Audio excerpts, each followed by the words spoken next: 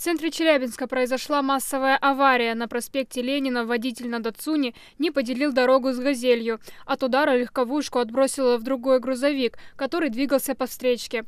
Тот, в свою очередь, задел «Ладу». Что ли, авария. Поэтому пробка.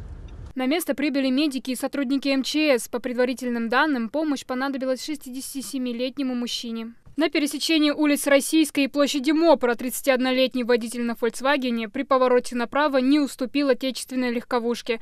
В итоге столкновение. Судя по всему, удар был сильный, у «Лады» разбит капот. А на улице Каслинской грузовик сбил 67-летнюю женщину на нерегулируемом переходе. Очевидцы вызвали на место скорую, прибывшие медики оказали пострадавшей помощь.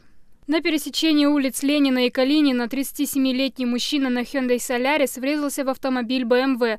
Судя по всему, тот резко остановился. И поскольку Hyundai не выбрал безопасную дистанцию, произошло столкновение. А это кадры с улицы Ворошилова в Магнитогорске. На них видно, как автомобилист остановился перед женщиной, которая переходила дорогу.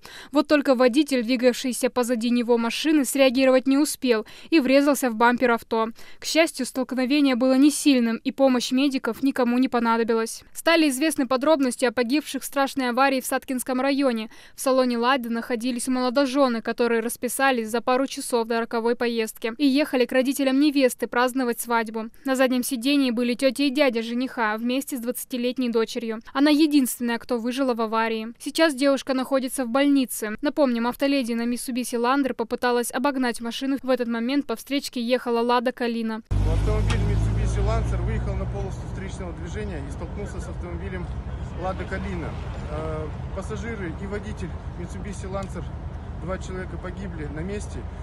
И также э, водитель и пассажиры автомобиля Лада Калина, четыре человека, также погибли на месте. В аварии погибло шесть человек.